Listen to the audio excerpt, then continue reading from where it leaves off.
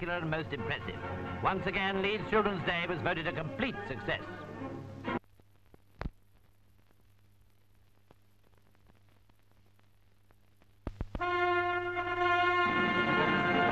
Several British railway cart horses in Rochdale recently became redundant, as we say nowadays, owing to the continued increase in the use of motor vehicles.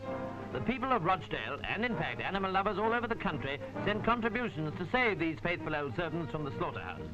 Organised by the Dumb Friends League, an 11th hour reprieve had been secured, and now they walked not to the slaughterhouse but to the Town Hall Square, where the Mayor of Rochdale, Alderman Shanks, had the pleasure of handing over the horses to their new owners to be taken to various farms where they'll spend the rest of their days pulling a plough or serving a useful life on the land.